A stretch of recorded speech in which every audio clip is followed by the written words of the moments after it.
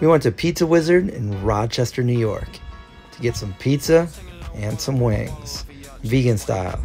There's some buffalo sauce and a deep dish pizza, bell peppers, chicken, pepperoni. Cheese on the bottom, sauce on the top. Craig liked it. I liked it. And if you go there, you'll probably like it too.